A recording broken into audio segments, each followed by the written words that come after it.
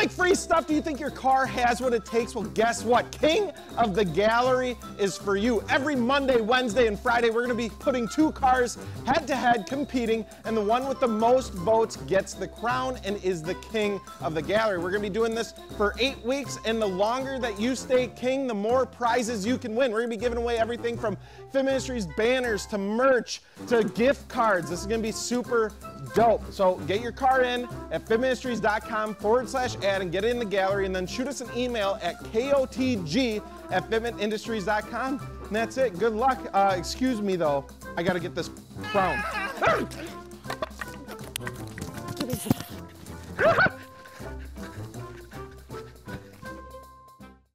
Honda Civic SIs have been around forever and especially in the aftermarket scene. In 2017, we finally seen these bad boys get a turbocharger, which was a pretty big deal. Now we have the beautiful 10th generation. But is it worth modifying? Are parts cheap? Are they expensive? Is it reliable? This is the ultimate buyer's guide to the 10th gen Honda Civic Si. Let's get into it.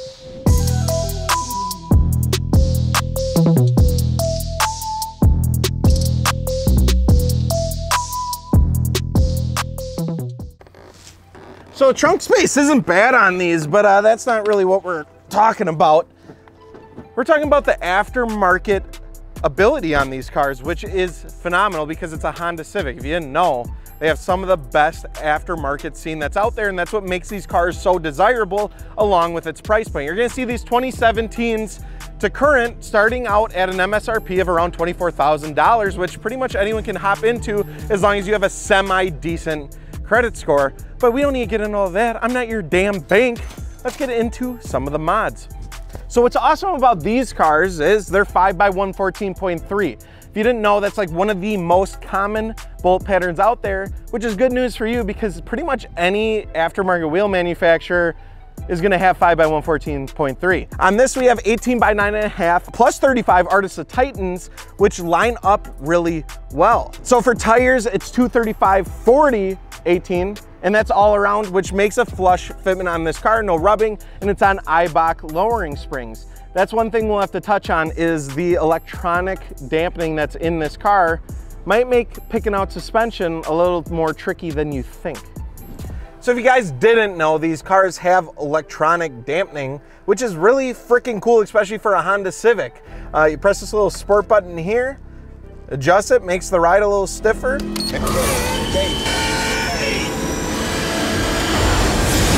Uh, let's go try it out. Alrighty. So what I'm talking about with the electronic damping, damping, dampening, damping, damping, I always say it wrong, is there's a couple options here and that's either you go lowering springs and you retain that factory suspension with the factory struts that's gonna keep that damping, damping in place, or you go coilovers, you delete that, you say, screw it, I wanna lay frame, I wanna throw sparks as I'm driving.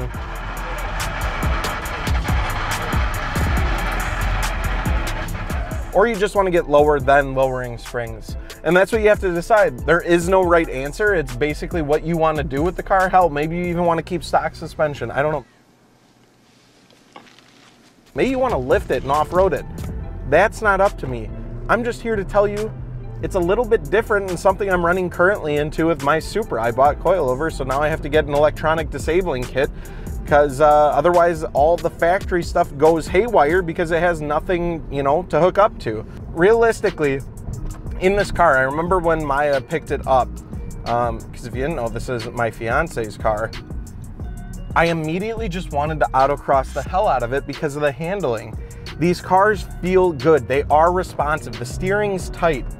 It revs out pretty dang high at 6,500 RPM and the shifter feels really good. It feels mechanical. It, it doesn't feel like a wet log in an axe, you know, like thunk, like I feel like my Cobalt SS when that was stock felt absolutely terrible, but this one has a more mechanical feel to it. Now you can get aftermarket shift knobs, all that good stuff, spice up the interior a little bit, but that will not make up for the 2017s and 2018s not having a damn volume knob. It is the worst thing. It has this touchscreen thing where you just beep, beep, beep, beep, or the steering wheel, beep, beep, beep, beep, beep, beep, beep, beep, beep, beep, and it is literally terrible. But 2019 and up, Honda was like, hey guys, we fucked up. That's our bad. And they put in a volume knob. They also made a couple other differences. But anyways, getting into more aftermarket stuff. Any turbocharged four cylinder car is gonna be much more responsive if you pick up some bolt-ons and a tune. That is the best things you can do. And the beautiful thing about a Honda Civic Si is parts are gonna be pretty affordable and the car is gonna be pretty reliable. Now, a couple downsides, a couple maybe big downsides.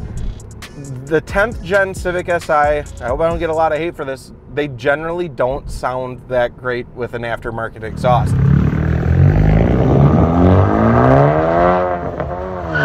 This isn't one of the cars where you'll be straight piping and going and blasting by people's houses at 3 a.m. unless you want to be a D-bag. And that's just the way it is. These cars do not sound absolutely fantastic. This car had an aftermarket exhaust on it when we picked it up. It was bunk, not good. We put the factory exhaust with the HDMI port on the back back on. Just not great sounding cars. Now there is some exhaust out there that you can look at that give it a better tone and you'll be all good, but it's not one you wanna make super loud. Another thing is with turbocharged vehicles, a lot of the time people want to make turbocharged noises. You want a blow off valve. You want to hear that when you get on it.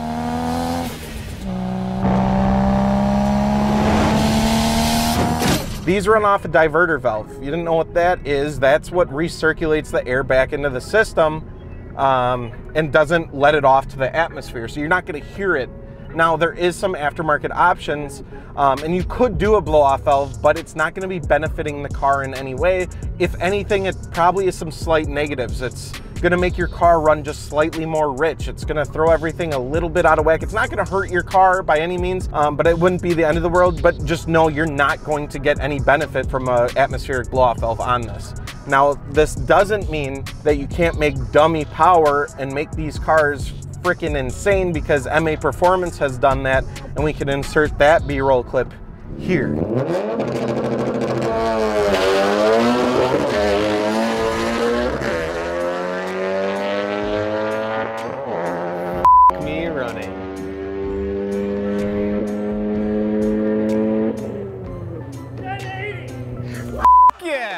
So all this talk about tuning and more power is great, but one thing you'll have to consider is the stock clutch in these cars are literally garbage.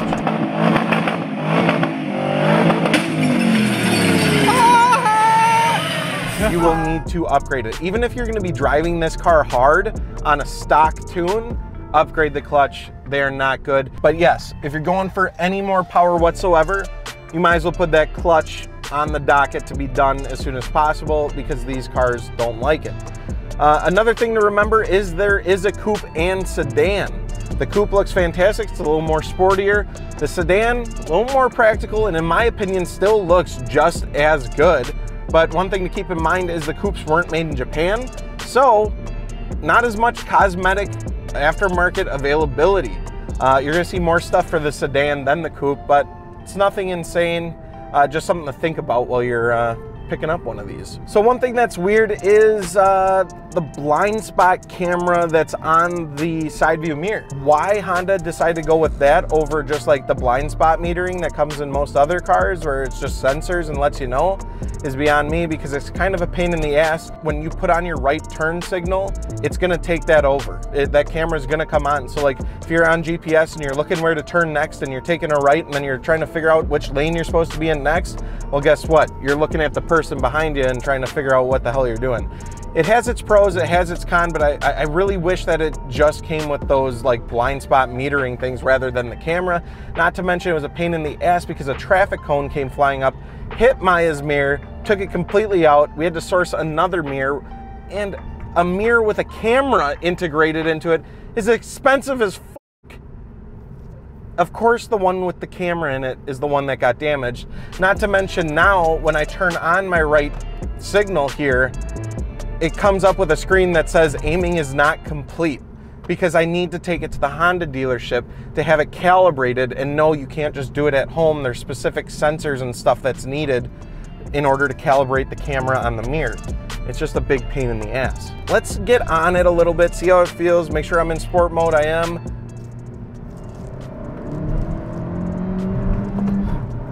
So, Oh, it turned off. damn it. so, so yeah, this car, pretty bone stock. We have the Eibach lowering springs, the Artisa wheels, which is a nice upgrade because the stock wheels are heavy as hell on these cars. So definitely would recommend going to aftermarket wheels. Um, but we'll, we'll, we'll give her a little bit. We'll see how she feels. We'll pop her in a second here. We are in sport mode.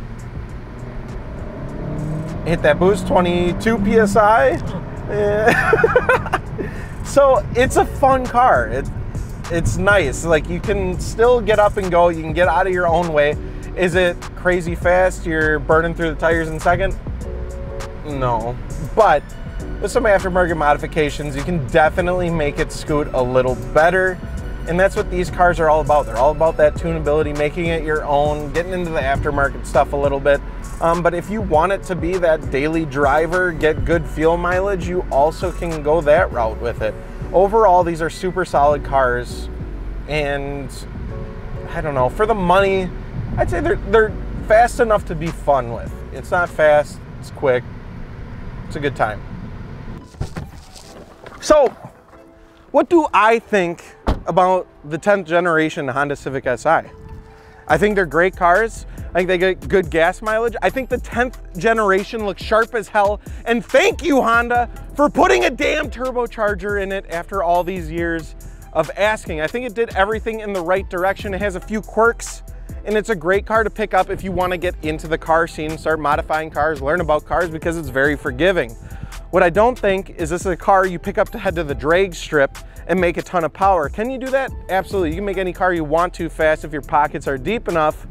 But this, this is more about just having fun. This is your one car that you have. You got to get to work, you got to get back, but on the weekends you want to go cruise with your friends. You want to slam this on the ground, make it look good? You have all that ability with all the aftermarket options that are out here. But what do you guys think? Let me know down below in the comments. I'm going to read every single one. This is a new series, so we would love some feedback. What did we miss out on? What do you want to hear about? Just let us know. And don't forget, wheels, tires, and suspension at fitmentindustries.com, especially all the ones mentioned in this video. We appreciate you guys, and uh, where's a faster car?